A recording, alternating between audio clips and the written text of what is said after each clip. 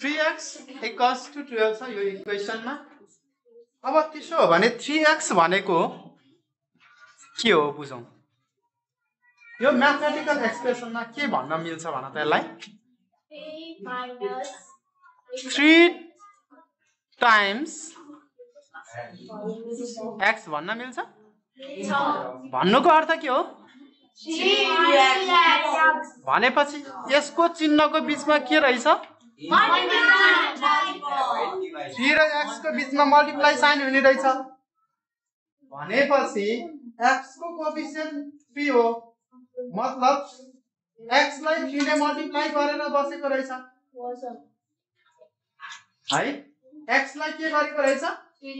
थ्रीलाई multiply गरेर भनेपछि कुन खालको इक्वल एक्जाम युज गर्नु पर्यो भन त? डिभाइड गर्नु पर्यो किन? मल्टिप्लाई भएको छ भने ठ्याक्कै अपोजिट गरिदिनु मल्टिप्लाईको डिभाइड एडिसनको सब्ट्याक्सन भनेपछि three X is equal to twelve भनेपछि अब के गर्नु पर्यो डिभाइड कति त? थ्री गर्नु पर्यो ओके न अर थ्रीले थ्रीलाई क्यान्सल गर्यो।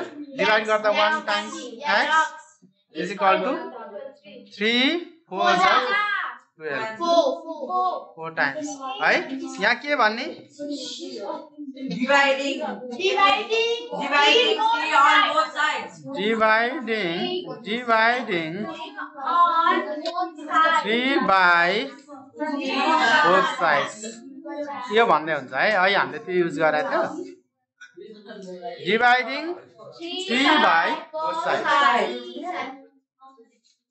Three on both sides.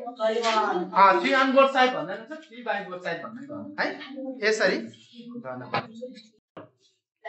Equation छ ten minus X equals to three छ हामी इक्वालिटी एक्जाम युज गर्दाखेरि अब माइनस एक्ससँग टेन के गरेको छ भन त त्यहाँ एडिङ गरेको छ कि सब्ट्याक्टिङ गरेको छ. एडिङ गरेको छ नि। माइनस एक्स प्लस टेन होइन यो भनेको? माइनस टेन माइनस एक्स भनेको यो होइन?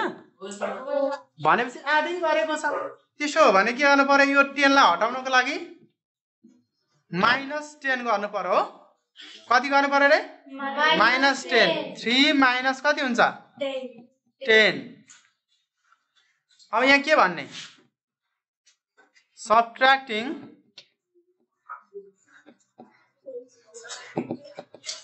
subtracting 10 on both sides अब प्लस टेन माइनस टेन कति भयो? Minus X is equal to minus कति भयो।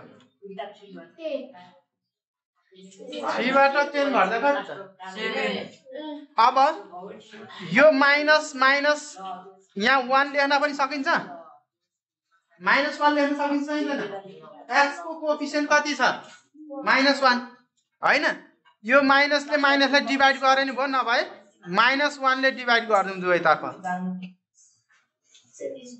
के भनौँ अब यो? यहाँ पनि इक्वल एक्जाम युज गरिदिन्छ। हो? यहाँ माइनस आयो नि त। माइनस वान मल्टिप्लाई गरेछ भने दुवैतर्फ के गर्नु पर्यो? दुवैतर्फ डिभाइड गर्यो। Dividing dividing minus one on both sides